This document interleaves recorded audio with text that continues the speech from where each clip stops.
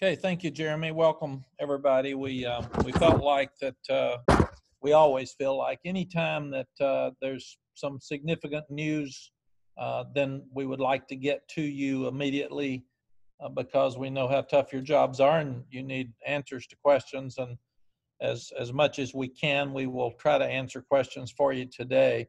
And uh, Jeremy, I think we're planning on this being the only uh, time that that we meet before practice starts.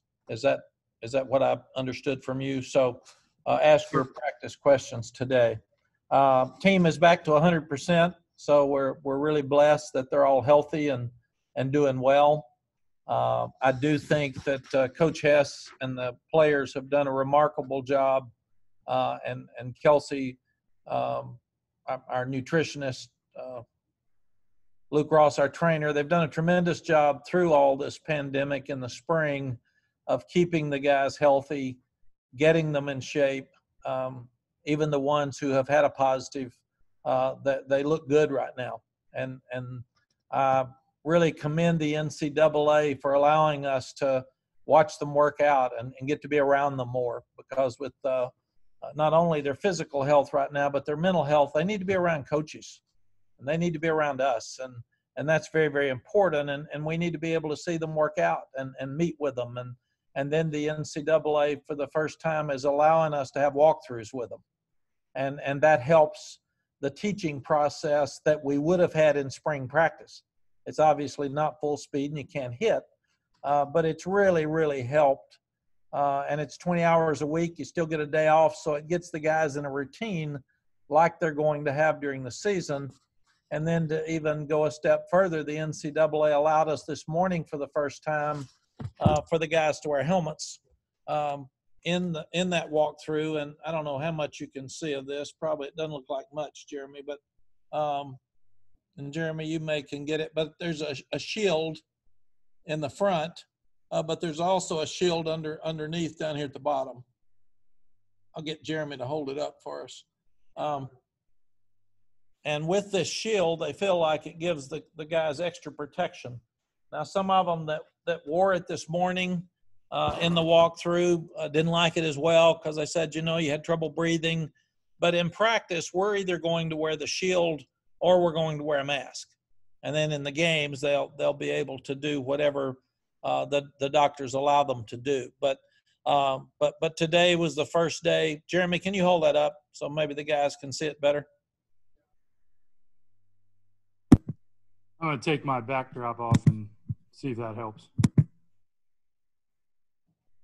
Okay, as, uh, as, as Jeremy's getting that ready, we start practice on August 6th, like was planned before. We'll have two days in shorts. The NCAA rules have not changed. We'll have two uh, days in shells, which is shoulder pads and helmets, and uh, and then we'll have the the rest of the time in pads, and that will give us the uh, the normal start um, here is the, the lower shield you go, guys. putting on the helmets now. So you can see the upper shield a lot of the guys wear anyway. And the lower shield would just replace the mask um, because that, that is uh, protection from them uh, down at the bottom. And a lot of the guys really liked it. Some felt like it, uh, the um, shield fogged up a little bit, but, but kudos to the NCAA for letting us wear it uh, today uh, and up until we start practice because I've told our players wear it until practice starts at least and try to make it work because people think it's safe. And and then if you if you don't like it, we'll go back to the doctors and look at other options. But let's let's try to make that work. Our school starts on August the 10th, so then we go back to 20 hours a week with with a day off.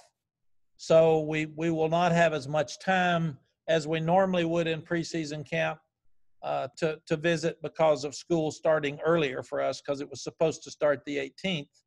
But we're, we're also not really sure when our first game will be because Rick Steinbacher is working hard to, to figure out when the plus one is um, because we, we don't have a plus one yet.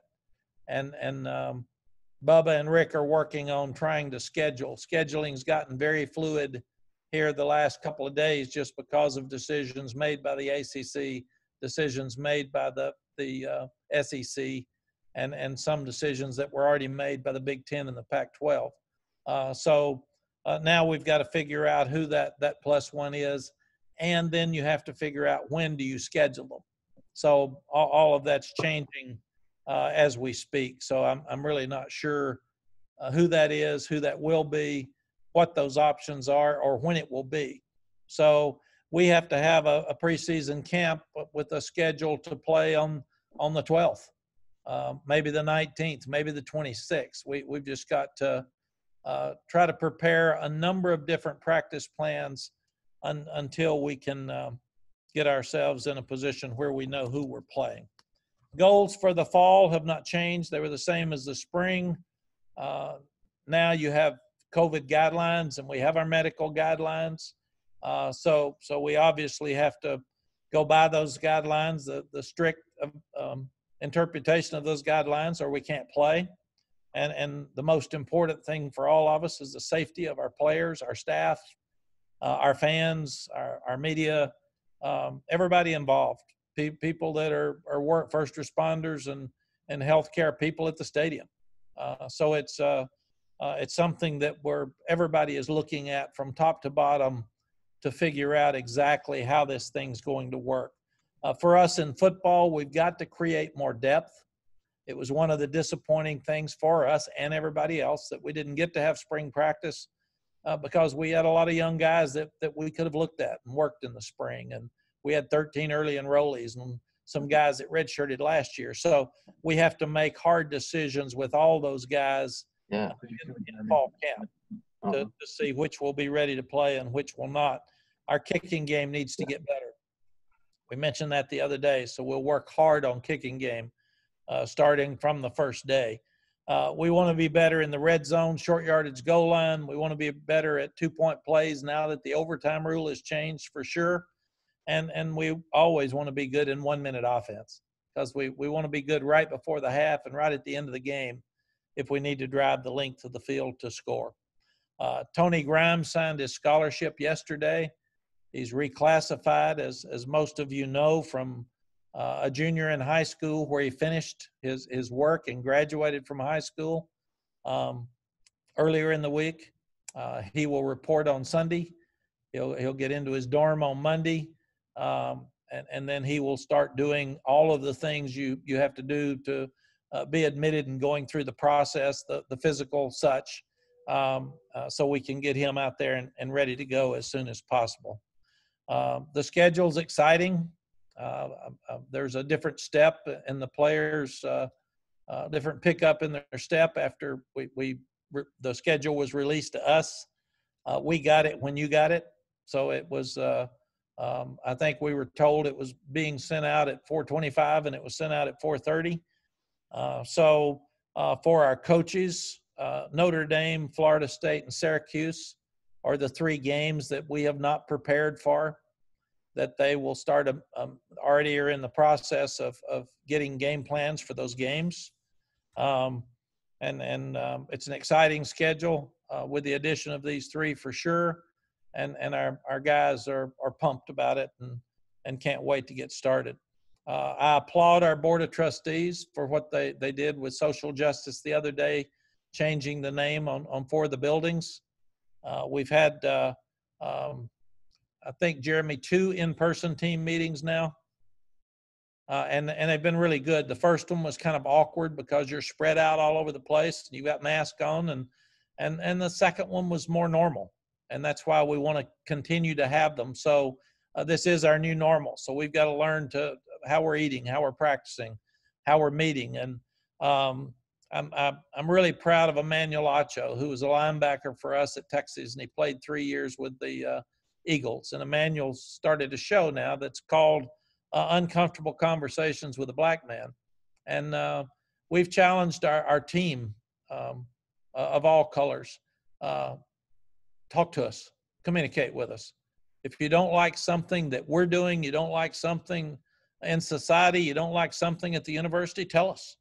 And and and we'll listen and we'll talk and we'll learn and and we can all step up and and and do what's right for change. So I feel like we're in a in a good place uh, right now with our team uh, as far as uh, moving forward with them with with all of the things that are happening out there. There's uh, uh, obviously people that that have lost their jobs and aren't eating well, and and um, unemployment uh, um, may not be as good for them as it was a month ago, and they're they're losing houses and uh, they're losing family members and they're sick. So uh, we're constantly talking to our players about about all those issues nationally and letting them understand as important as football is to us uh, it's sure not the most important thing in our in our country and in our world right now uh, we're just a small part of it trying to to work out uh, a piece that we really enjoy and and make sure that we can make football work this fall um, any questions jeremy from anybody Yep, you've got one or two, Coach. So we'll start off with uh, Kiara is first in the queue. Kiara, go ahead and unmute yourself and go ahead. Hi, Coach. How are you? Great, Kiara. That's good. Um, I want to ask you um, your opinion on whether you see the how you saw the NBA and how they've handled COVID as far as you know the bubble and, and implementing fans um, via like digital and things like that. Do you see that as a viable option for football? Kira, I, th- I think that we're all learning from baseball and men's and women's pro basketball and football will teach us something when the NFL starts coming back and soccer. Um, so the the bubble theory is obviously working. Uh, that's hard for us, and what we've talked to our team about is uh, that's the only way it looks like it works. Is is you've got to be in a bubble, even when you're up on campus. We've got 19,000 students coming back here pretty soon. Uh, so the fact that that we we can't put them all in a dorm and keep them there and not let them out, and uh, we we can't do what the NBA's done.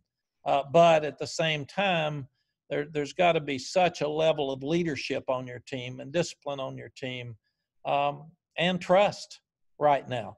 Uh, we're not practicing uh, with with our our strength and conditioning group. Our workouts are meeting tomorrow or Sunday. Uh, some of the guys want to go home. We, we can't keep them from going home. But if they go home, they've got to understand you've got to wear your mask and you've got to go by the guidelines and you got to wash your hands and keep your social distancing. And uh, so we've told them we, we can make you do that around us. You've got to be disciplined enough and care enough about your teammates and your staff to do it when we're not around. And, and it's never been more important for you to do things right when we're not around. And, and that'll be a big test for our guys this weekend. Thank you, Coach. Thank you. All right, we're on to Ed Hardin. Ed, go ahead and unmute yourself and fire away. Hey, Mack. Hey, Ed. Any thought, and I'm sure it's not part of your job, but somebody has to be thinking about how you're going to physically move a football team to, say, Miami to play a game. How many airplanes is that going to take? Have you thought that far into it? Ed, what I've thought far enough is to do exactly what you did and ask our bosses, can you tell me how we're going to do this? And and and good for them. They they've done amazing things with uh, sanitizing our building, our facilities. They even sanitize the fields, so they're they're cleaning them every day. Um, and and I know that we we've got a lot of bus trips. We take three flights. We go to Boston, we go to Tallahassee, and we go to Miami. Um, so I'm I'm sure now the airlines have worked really really hard at being safe. I don't know how many planes that that means we'll take. I don't know if we have to cut our numbers of players that go or people on the sideline. Uh, so all of those things are are things that uh, uh, the medical people will be answering, um, and, and, we'll start asking asking those questions when we get there. Ed, we're really anxious to get our, the dates of these games because then we'll have to come up with answers more readily and we we don't know when we're going to get those dates so that'll tell us a lot and and uh, we we've talked hard about uh, do we stay in a hotel at on Friday nights at a home game or do we stay in, in their regular residence? Well, to get their sleep, it's it's better to go to a hotel. So we're going to go to a hotel, and now we're looking at who rooms with who for for safety with the virus. And and do you room two guys that are normal roommates together because they stay together all the time? Or, or do you move a, a, guy who might have had a positive with a guy who might have had a negative because uh, the positive is less likely to infect the negative? Um, so we're, we're looking at things that we never dreamed that we would look at before. We're Uh, but we have decided we are going to stay in a hotel because our five away games will be in a hotel. So we've got to get used to it. We've got to have a routine. And uh, how do you meet on a if it's storming or it's rainy and you don't have enough room in the hotel to social distance? How do you have your meetings before the the games? Uh, how do you eat your pregame meal if you can't all get in one room because you don't have enough space? Do you have to have two pregame meals and and change it up? So uh, we're we're putting uh, more thought in, into stuff like this than you would ever dream that we would do. One of our coaches asked me, "When will we stop talking about COVID?" And I said, "When we get a vaccine." Uh, I don't think until then we'll quit talking about it, but it's it's been a a vital part of our preparation, and and those that handle it the best uh, and keep their players the the safest will be the ones that have a chance to win the most games. Thanks, Ed. Thanks, Ed. Andrew Jones, you're up. Go ahead and unmute and fire away. Need to mute, Andrew. There we go. There we go. All right. I'm, I'm a technology whiz. Coach, I do appreciate you uh, talking with us again. I've got two questions that are unrelated. The first one, we've seen a lot of videos that you guys have been putting out on social media the last week and a half or so. The guys are running and doing all kinds of stuff, and they have masks on. Um, have you? Do you have to scale back what they can do and the amount of time that they would do it because of the mask? Is it a little bit more, more difficult for them to do what they would do without it? Uh, maybe more time in between drills? And how are you kind of managing and monitoring that? Andrew, it's a, it's a, these are all great questions because it's, it's all new stuff for us. Coach Hess has done an amazing job, he and his staff, and we're trying to have our normal workouts. He, he thought, he went back and studied the, the lockout of the NFL and talked to a lot of doctors and trainers at, at that point about how the guys without having as many workouts came back and who got hurt and how they got hurt and did we have uh, soft uh, tissue tears and pulls and and uh, so he he's working them uh, at a slower pace to get things back to where they need to be and he's done an amazing job with it because we're fortunate that that right now since we've been back we haven't had any of those pulls or tears and we had some some last year. Um, but we we we've we've learned um, uh, if you're five yards away from somebody, 15 feet, you can take your mask off as long as no one's near you. Uh, but like they have their own uh, water bottle with their name on it, so they come up to their water bottle. They have to have their mask on because the trainer's standing there. Uh, they sanitize their hands. They take their bottle. They go five yards away. They pull the mask down. They drink they pull the mask back up, they go back and put the bottle in. It's uh it's an amazing process. And and and I stand there with a microphone and say, hey, uh, Eric, you're too close, man. Back away. We have a six foot pole, and we have trainers and managers walking around saying, here you go, man. This is six feet. Now stay away, stay away. So uh, what we're trying to do is is normalize the mask and the social distancing as much as we possibly can before we get started with practice and, and that was a, another great step today that the NCAA let us put helmets on, uh, just so they can see if if they can breathe, or are they going to need? Uh, will will they be able to use both shields, or do they take the bottom shield off? And if they do, will they need a mask in practice? Uh, so we're we're just going trial and error, and we're constantly talk to them, talking to them about hydration, because they've got to be hydrated with with all this. And and more than ever before and, and taking care of their bodies over the weekend. And uh, because we're just at, at, such a different time, uh, it's going to take a, a, different attitude and, and take a different discipline uh, than, than we've had before. Uh, internal leadership has never been more important on a sports team than it is right now. Totally unrelated uh, other question. A lot of you guys have received a lot of uh, preseason accolades and honors and, and acknowledgement. Recently, I've seen Marcus McKethan and Jordan Tucker's name come up. How have they looked in the last couple of weeks when you've had a chance to, to watch them? What are your expectations for them, and where do you guys have them right now? Yeah, the the offensive line looks really, really good. We're in shorts, and um, a friend of mine, Mr. Joe Jamail, an old lawyer, said uh, you can't learn to swim without water, and you can't learn to play football without pads. So uh, we'll we'll see when we get in pads. But all five of the uh, offensive linemen with the blue unit look really, really good. They're in great shape. They're confident. Um, I do think staff continuity is really helping us. Only John Lilly is new on offense. Only Jovan DeWitt is new on defense, and Jovan had two years with uh, with Jay Bateman at, at Army, uh, so they're on the same page. Uh, but those guys really look good. They're in good shape. They, they've taken care of their bodies.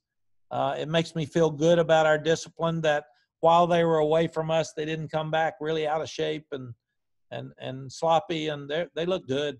Uh, so uh, again, I give a lot of credit to uh, our strength and conditioning, our nutrition staff, and our medical staff. Thank you. Appreciate it. Thank you, Andrew. Coach, I think that was the first football question you've answered in like a month. Yeah, I, may, I think maybe six months. Brian Tees, you're up. Go ahead and unmute and go ahead. Hey, uh, two questions, neither about football. Sorry. Um, first one is, uh, Mack, do you know if the testing procedures are going to change for the players once the students at UNC come back and players are ostensibly, you know, might be in classrooms with other students?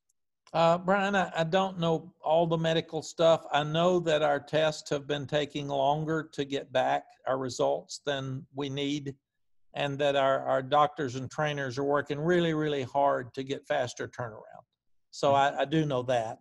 Uh, I also think I didn't get to read all eight pages carefully of the ACC uh, medical protocol, uh, but I, I, it seems like uh, from what I, I found out, and Jeremy could uh, check this to make sure I'm right, is if you've had a positive, you will not be tested again for 90 days. Uh, if you've had negative tests, then you'll be tested each week before the game.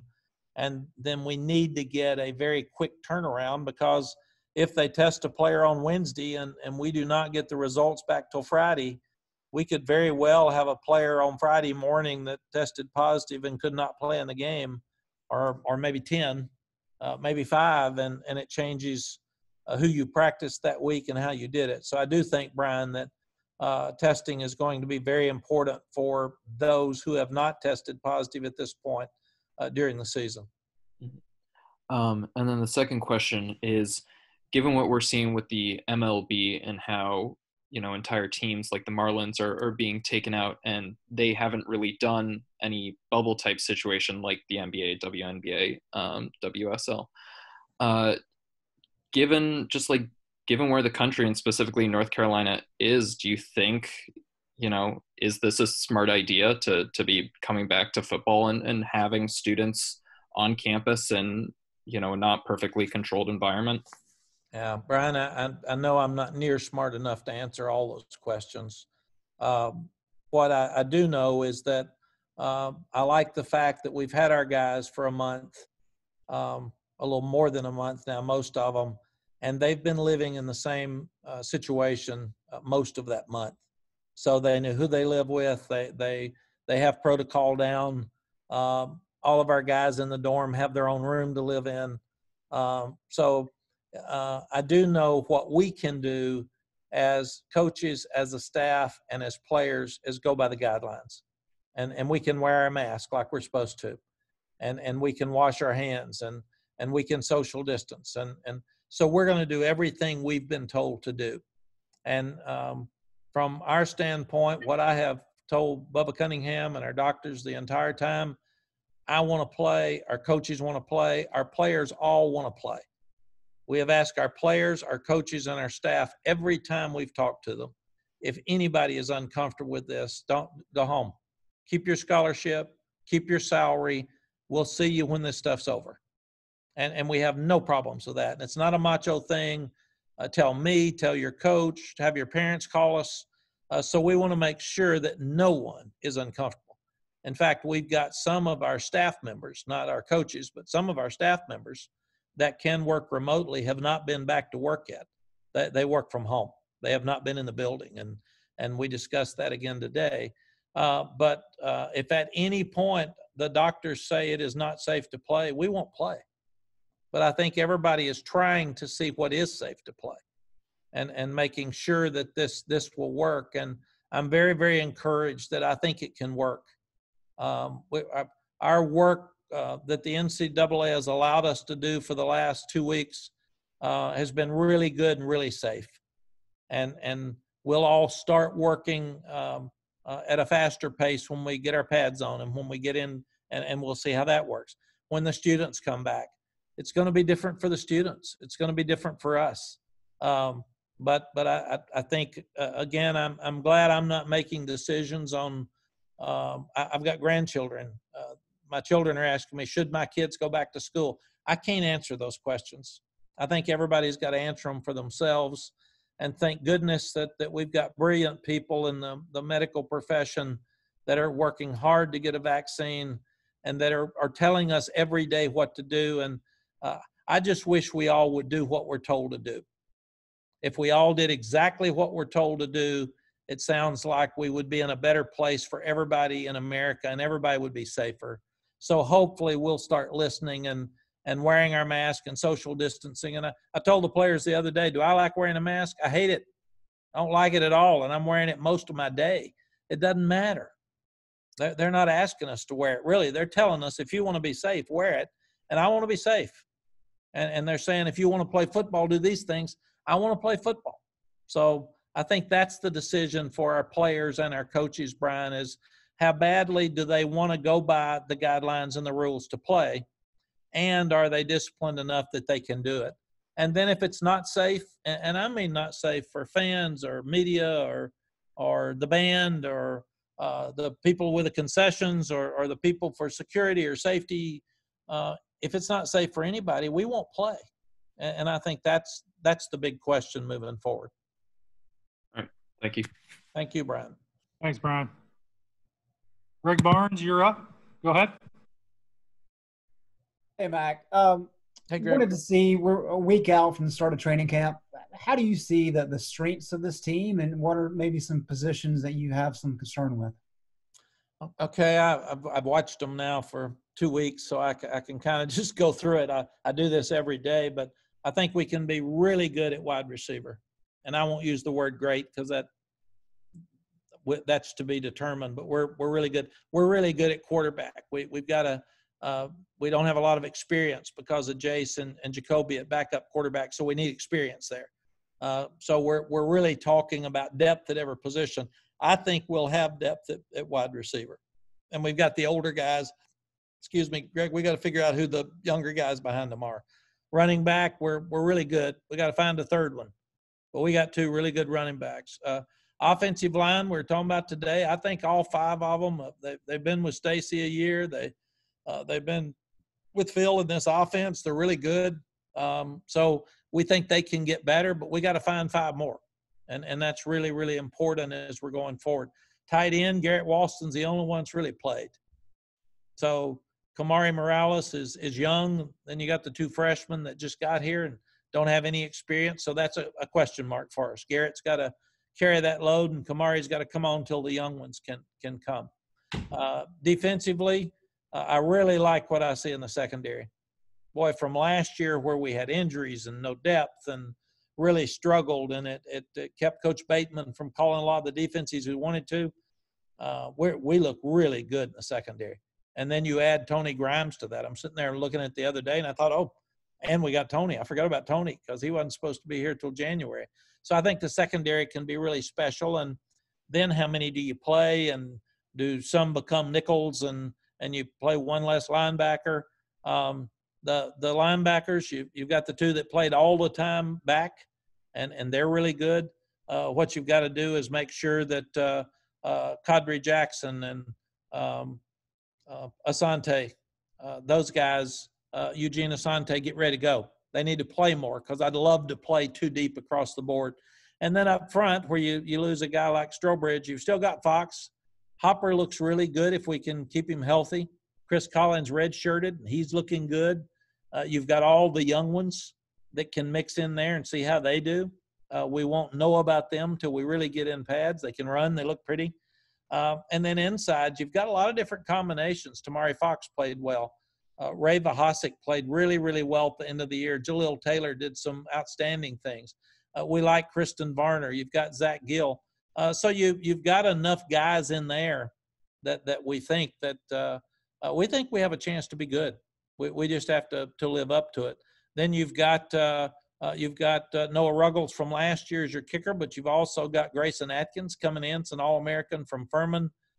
Ben Kiernan should be much better as a punter because he showed signs of brilliance at times last year.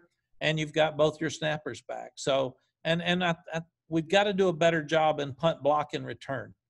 We did okay in punt, but we didn't get anything out of our punt block and return team. Kickoff return was good. Kickoff coverage was fine. Uh, but we the that punt return team, punt block team has has got to be big for us, and it wasn't last year. And when you've got a returner like uh, Daz Newsome, you you need to to be able to give him a chance. You mentioned the, the versatility in the, in the secondary. When you got guys like uh, Trey Morrison and Connor McMichael, and I guess Grimes now too, that he's there. Do you have any idea about who you'd prefer to be at that nickel spot? No, it's going to be fun it's it's uh, there's so much depth there right now. We're we're just walking around like kids in a candy shop. It's uh, uh we're just watching, and we've told them, you know, the the bench is your your your friend. Uh, if you're a coach right now, because they all want to play, so they've got to compete. And and when you get outstanding defensive backs that can be one on one with your receivers, uh, it forces everybody to get better we're going to be playing against guys in practice that will be as good or better than the guys we'll play in a game. And that just makes you get better and better and better. It happened the, the last time we were at, it happened at Texas. When your best can play against your best, it forces them all to get better. Uh, but but that's what uh, number one you you don't have field and boundary corners anymore really because with uh, tempo, everybody's got to play right and left corner. A lot of people have to play right and left safety uh, and then you go to nickel and, and you start looking at who those guys are. Uh, so we've got to find the two best cover corners. Uh, first, we've got to find the best six defensive backs and try to get them on the field. And then you you separate them with you put your hitters inside, put your cover guys outside, and just kind of figure out who it is. But you've you've got Don Chapman back, you you've got Cam Kelly back, all those young ones, plus uh, the Miles Wolfolks and, and the DJ Fords and the older guys. And then you add uh, um, the, the the transfer corners um, that Bryce Watson and uh, McMichael. Uh, then you stick in a, a, a, late addition with Tony Grimes, along with everything you had. Storm Duck played so well at the end of the year. Trey Morrison's really good. It's it's it's fun. So I, I can't wait to watch those guys. And and our challenge is for those younger linebackers uh, to step up and play. We we need to be able to if if uh, Chazz Surratt gets tired because with COVID you don't know who's going to be there. You don't know who's going to be out this week, and and and also you're you're not sure with these masks and shields and um, if they get really hot, well, they have to come out more. Well, you have to substitute more. So uh, in practice, we're just going to put the the white linebackers in with the blue team, and and act like it's normal because we've told them this is the way it may be. Thanks, Mack. Thank you, Greg. Mike Barber, we're on to you. Go ahead. Morning, Coach. Thanks for doing this. I just wanted to ask an off the field question, but you mentioned some of the um, conversations you've had with your team, team meetings, things like that. I'm curious with the, the movements going on, how have you seen a change in, in athlete empowerment, in the, the power structure really between coaches and players, and, and how players feel free to express themselves? Mike, I think that what I've seen is that the the athletes feel like that uh, they should express themselves, and they're they're speaking for themselves, but they're also speaking for others that don't have the same platform. And and I think that's okay. I've told our guys, uh, be a great team member, and, when it's time to do a team something, be into that.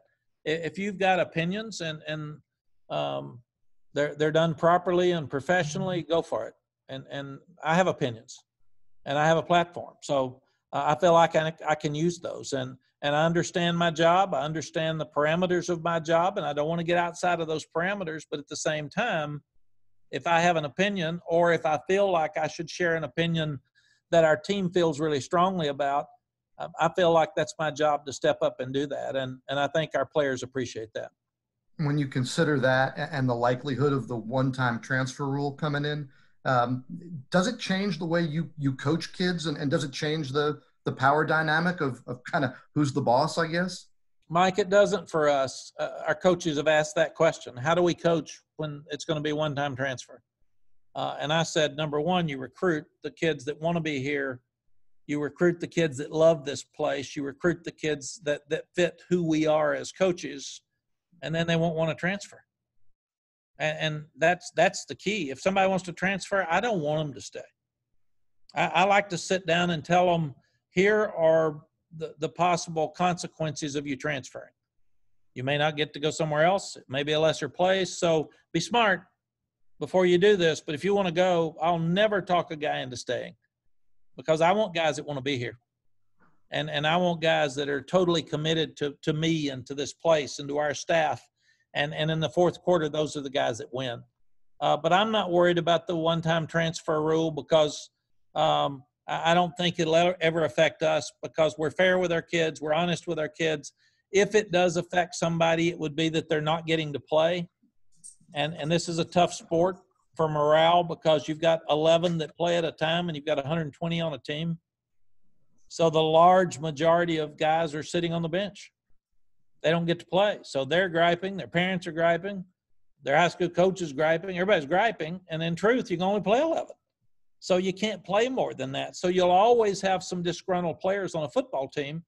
But I want to make it so good here with everything that we're doing for their experience and trying to help them when they get out that they want to stay. Because I've told them all, you may not play here. You may not play in the NFL. So you've got to work it where uh, if your dream of playing is taken away because you got hurt, you got sick, you quit, you're not good enough, that doesn't ruin your your life and and and your future and your career so let's work on your life after football and then football will take care of itself because we told them we love y'all. We can't play you if you're not good enough or if you don't practice good enough or if you don't act right. We, we can't do that. Our job is to win.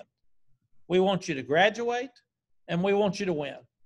Now in that process we want you to have fun and we want you to prepare yourself for for this tough life out there after football. And with, with COVID right now, it's harder to get jobs for young people than ever. We have a responsibility to prepare our guys for jobs that they can get and start looking for them and helping them as soon as they get out of here. And I think that's why we haven't seen a lot of transfers.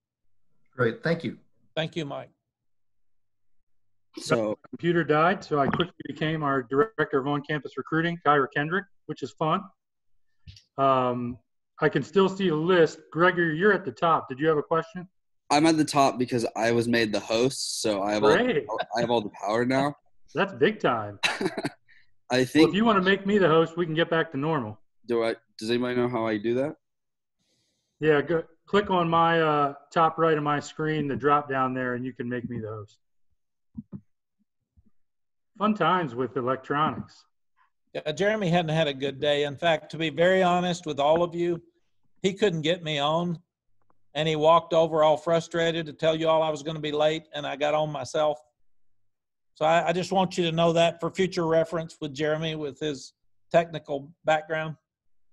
See, that's why that's I let him handle his business and I try to stay out of it. Okay, I think I fixed it. Yep. You thank did. you, Gregory. Thank you, Greg. So we're on to Jonah. Jonah, go ahead. How you doing, Coach? Good, Jonah. I got a couple questions. First off, um, you kind of touched on it before with everything going kind of up in the air in terms of scheduling. You don't even know dates yet. How does that specifically affect game planning, especially considering your first two games are now might are probably out of the door? Yeah, uh, John, it's another great question. What we've done is is we've taken a practice schedule for September 12th, September 19th, and September 26th. And, and we've got every practice worked out because if you if if you have three extra weeks to practice, I mean you could wear your team out. So um, normally you have 25 practices available before your first game. The NCAA is still giving you that. So if it's moved back, then then uh, they're going to give us those 25 practice opportunities in those first four weeks. But then we've got to figure out how do we do game week if we play the 12th instead of the we were supposed to play the fourth. Um, so that's what we're all working on right now is is how do you keep your team healthy? How do you get them in great shape without wearing them out? And and we're all looking at all those scenarios and and we'll be so much happier when we get times. The players are needing them, the, the parents, the fans that, that want to try to go to the away games if they can get tickets. We don't know how many fans will be in the stands. Uh, we don't know where the games are. We don't know when they are. Uh, so, so right now, uh, everyone is excited about the schedule and very anxious to get those questions answered that you just asked. What we've done for the players is we've shown them all three of those schedules to ease their mind and make sure they understand that we're prepared if they tell us we're we're playing the 26th of September. Don't worry about it. We've got it and you're not going to practice for 8 weeks in a row without a break. So so just take a deep breath, we're okay. Absolutely. And um, the second question uh, involves recruiting. Just how much recruiting is left in the 2021 cycle with uh, a lot of the players off the board now? And when do you shift your focus to 2022? I, I think most of our 2021s are done. We've got a couple other guys that we're talking to, two or three.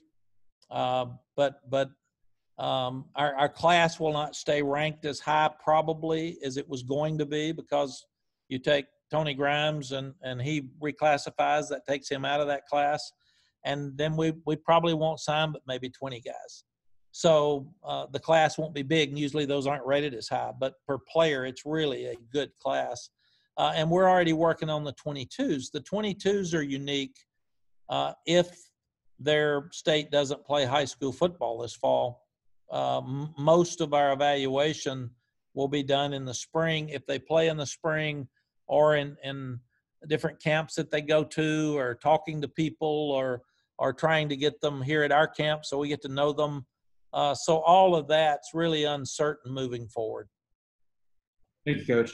Thank you jonah. All right we got aaron beard next. Aaron go ahead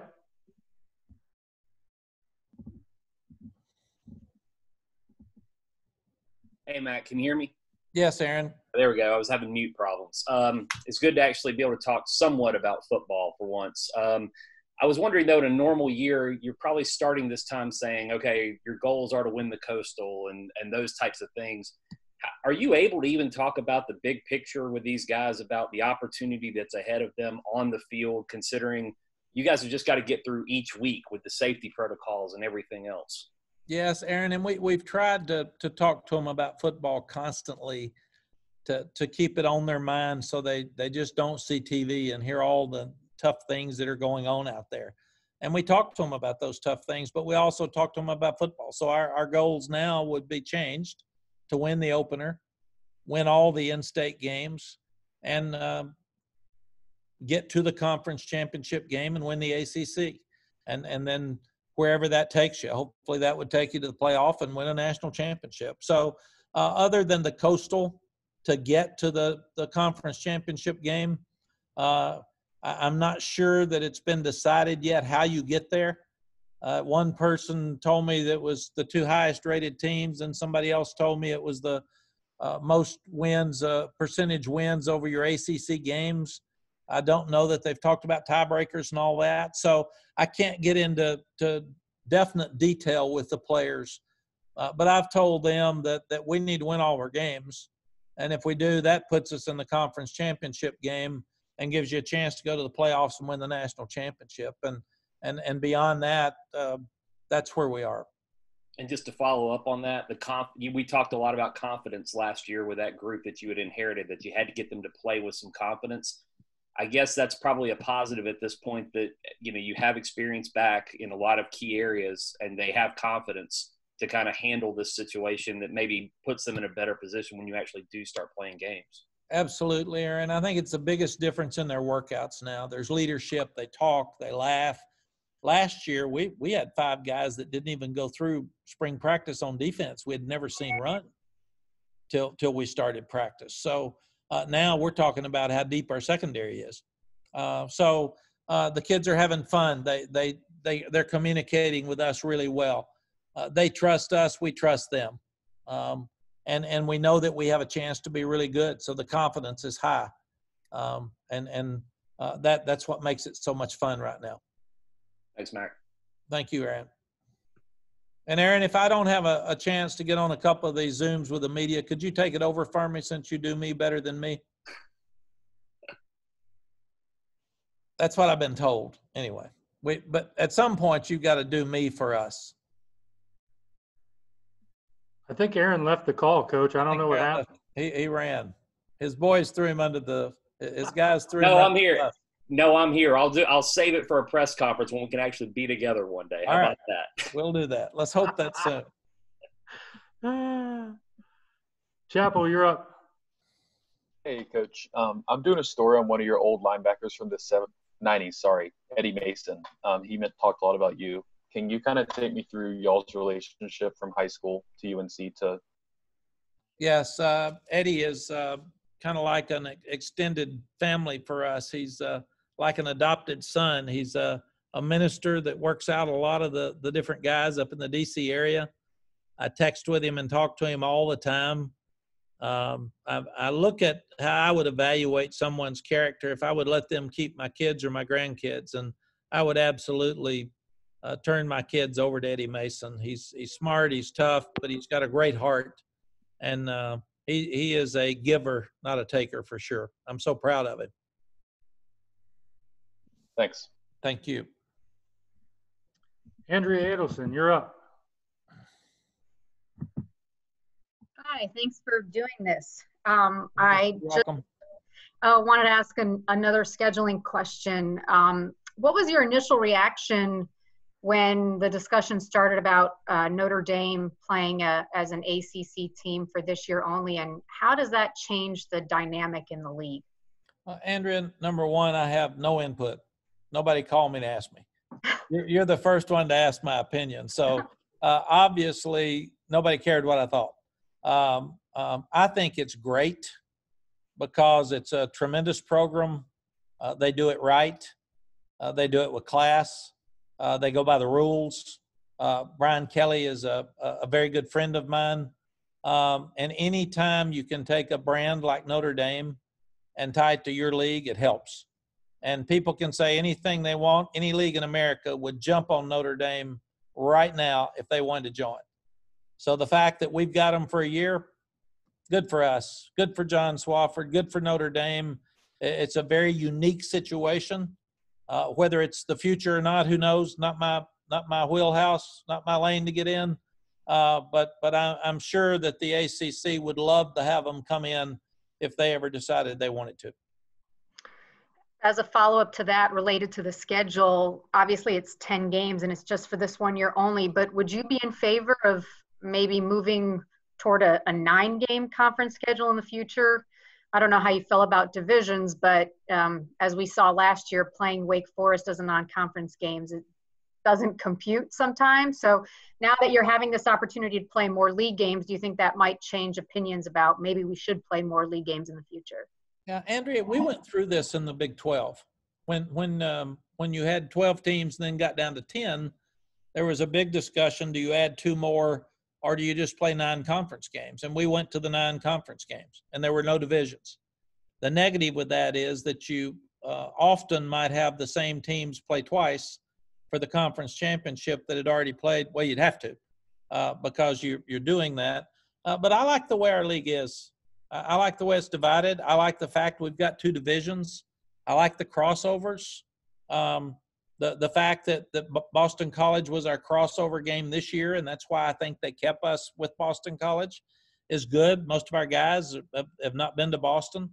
Um, we don't get to play Florida State very often, so that's fun. It's exciting that our guys will get to go to Tallahassee, especially for for our Florida guys. Uh, so I just think that uh, uh, I, I like the way we're doing it and and this year will be unique that we get to play more on the other side. But we've still got our natural rivals with NC State and with Duke. Uh, I like the fact that we played Wake Forest last year because all of the in-state teams that we can play, it, it helps financially for our state. Um, and and a lot of the kids on all of these teams have been recruited from this state, so they love playing against each other. And the fans love to talk to their rivals. So uh, I, I think all that's fun. But I, I like who we are. Thank you. Thank you. Thanks, Andrea. On to Ross Martin. Ross, go ahead.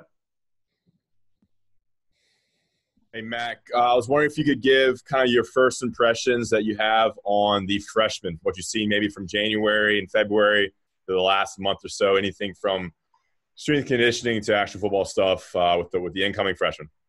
Ross, we've talked about that, and and we really haven't seen them enough.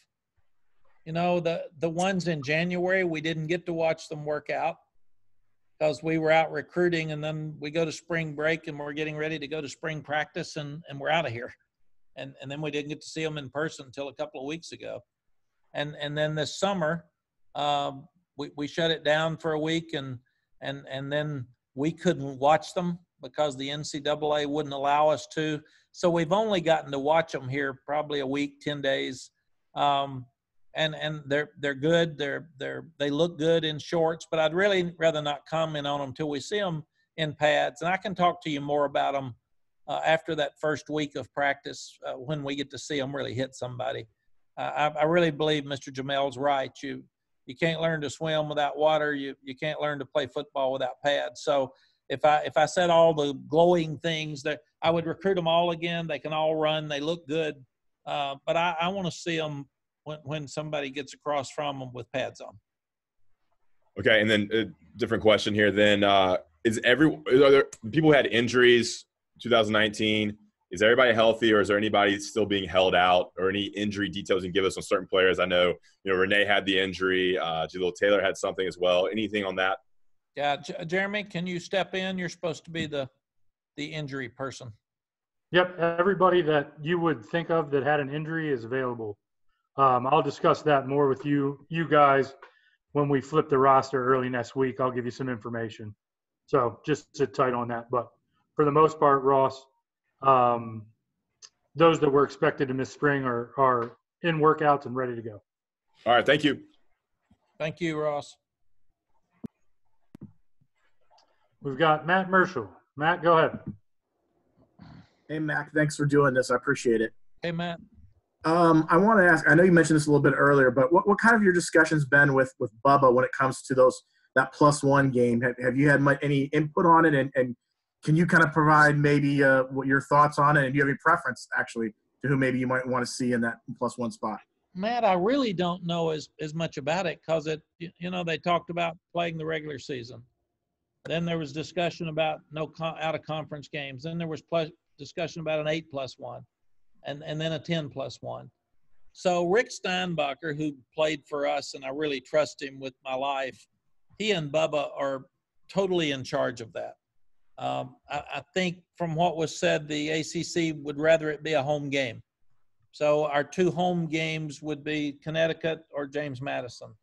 Um, so I'm sure they're in conversations with those people now, but I've been so overloaded. Uh, I've told them to do whatever's best and, and, I've said I've said from the beginning, I want us to make sure we're all safe. That that every don't call me about any decision because I'm gonna tell you, if it, if we're all safe, let's do it, and they're gonna do that anyway.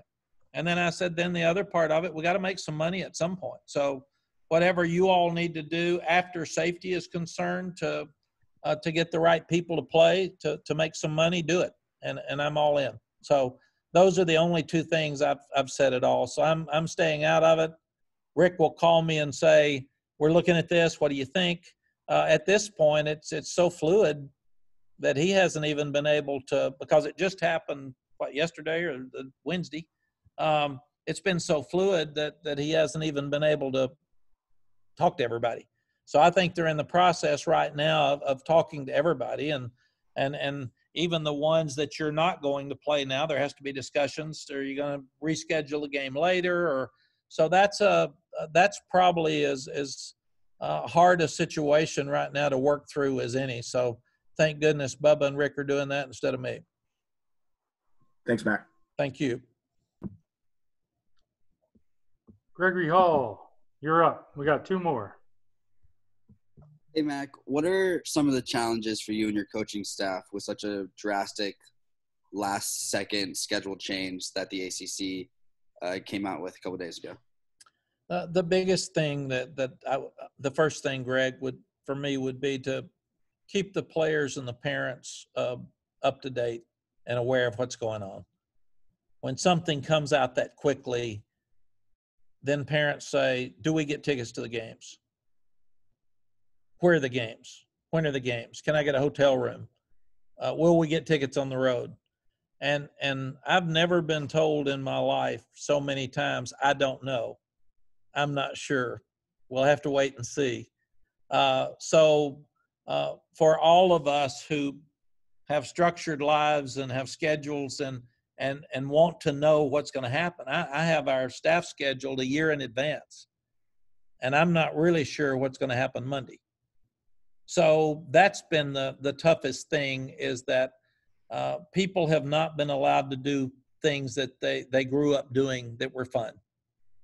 So we, we're having to tell our players that do we like it? No. Is it different? Yes. Is it not as much fun as if you uh, ran up and hugged everybody and could go out and eat dinner. And uh, yeah, it's all different. And it'll be different when the students come back. You're not going to be able to go to parties and you're not going to be able to be in big groups. And it's just, it's just not going to happen. So, uh, and we've got that till, till this thing goes away. So I think that's been the, the biggest thing about scheduling and everything. Secondly, it's, uh, um, coaches again are, they're creatures of routine and we don't know when we're going to play. So it drives you nuts that you don't know when your opener is and, and you don't know who you're playing. So all we can do is is live in the moment, do what we know we can do. And right now that means get a scouting report for Syracuse and for Florida State and for Notre Dame. That's all we can do. And then in today's staff meeting, the staff said, "Who just just like you all, and, and who's our plus one? I don't know. When are we going to know? I don't know well, well, when are we going to play them?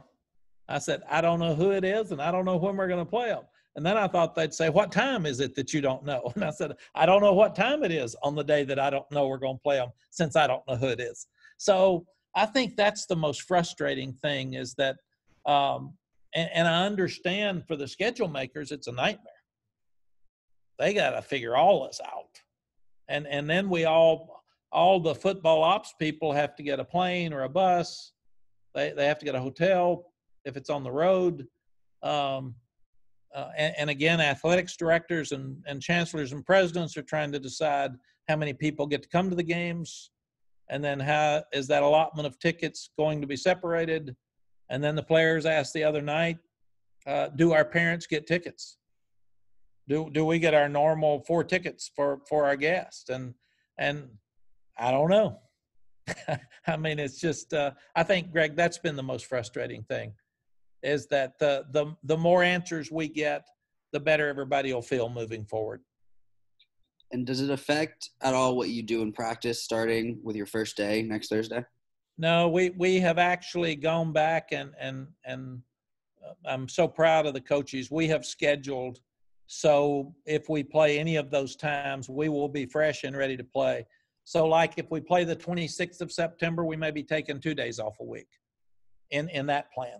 So, we have a plan for each of the starting dates, um, and we had one for the fourth. Uh, but we have a plan now for each of the starting dates. And, and what we'll do as soon as we see when it is and what it is, we'll share that with our team. But they know that, that we're organized and, and ready. We are ready for whatever's thrown at us.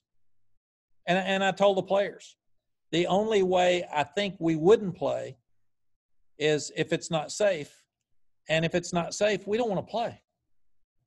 I mean, I don't want you all out there if it's not safe. So understand we're going to play unless the doctors decide, the medical experts decide it's not safe. And then if they do, then we shouldn't play. That, that's uh, kind of what Brian was talking about earlier. It's just uh, those are facts. And I'm going to sit and do what I'm told. Awesome. Thank you, Mack. Thank you, Greg. All right, Coach, we got our last one from Alyssa Ray here. Hey, Coach, with Clemson being so dominant in the Atlantic Division lately, now with this new format, divisions are out the window. How does that change the landscape of this conference, considering everyone's kind of on the same playing field and have the same opportunity to get to the ACC title game? Well, uh, Alyssa, I think it's it's fun and unique and new, and at a time where there's so many tough things out there for all of us, it's kind of a new buzz it's uh this is fun and this is unique and i think we're all trying to figure it out i, I was I walked into the staff room the other day, and our coaches were looking at everybody's schedule to see who, in their minds, who had the best schedule and who had the toughest schedule and who had the best chance to win with their schedule they had. And I said, You all know that doesn't matter. Nobody asks you, nobody cares. You better be worried about our schedule, not anybody else's. Uh, but but it's uh, it's fun and unique that that now all of a sudden uh, the the challenge of Syracuse, Notre Dame, Florida State for us just thrown right on us. And you should have seen Michael Carter's face, who's from uh, uh, West Florida. He, he, Coach, are we really playing Florida State at Florida State? And I said, Yes, we are, bud. And I've never seen a happier young guy. So that that that's fun and unique. The the kids have worked so hard without any answers. And and then at one point I thought we probably weren't going to have a schedule till next Tuesday. And and then all of a sudden the schedule popped out. So we called a team meeting Wednesday night just to have this discussion with them to tell them everything we know about uh, what the schedule and and what we don't know about it. And and uh, understanding we'll get these answers but when your parents are asking tell them we don't know. We, we'll we'll let them know as soon as we know. But but i think the the, the biggest thing alyssa is that it's new it's unique and it's kind of fun and and and challenging right now in a time where we've had so many things taken away from us and, and we've said so many hurtful things happen to friends and family and and and just just looking at things across the country it's it's been such a downer. This is fun, and this is unique, and it, it's uh, it's challenging. So people have asked me, well, you you're, you're going to Florida State and you're playing Notre Dame. That's much tougher. I don't care. I, am excited. I'm excited about the the games. I'm excited for the kids. Uh, the coaches were excited to have a schedule. The fans are excited. So I, I just think that this is this is really cool. That that there there's hope. There's a chance. It's new. It's unique and and we'll all learn from all of this stuff and and come out stronger on the other side thank you all righty thanks everyone appreciate the time. Appreciate you coach giving us the time to do all that. And we uh